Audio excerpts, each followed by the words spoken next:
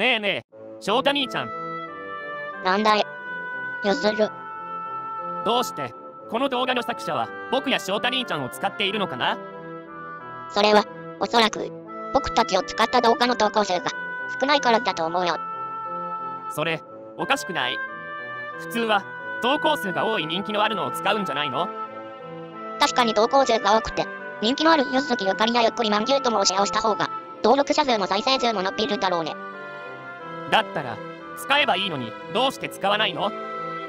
世の中にはジャンルを問わず、人気のないものを使いたがる既得な人間がいるということだよ。なんだよそれ。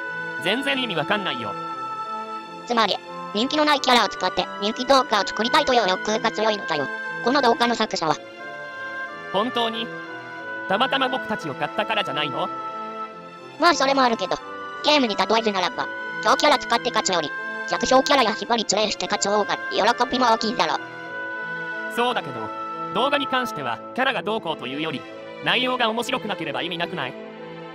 確かにそうだね。その点は、この動画の作者に改善してもらわないと、だね。つうか、どうして僕たち人気ないの？投稿数少ないの？それは、次の機会に話すよ。